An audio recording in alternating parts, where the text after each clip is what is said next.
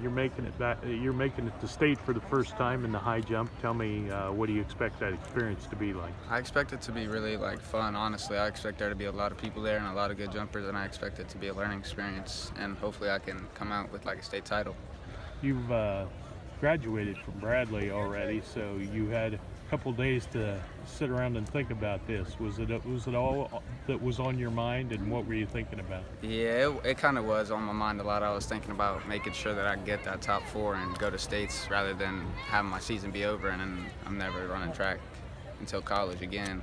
No more high school, no more nothing. So it's kind of nerve-wracking, honestly. But now we're here, and now I'm going to states. So. Were you nervous going into regional today? Uh, for about a few jumps, maybe just the first jump, and then I started getting my rhythm and kind of was like, okay, well, I do this every week, so I'm ready.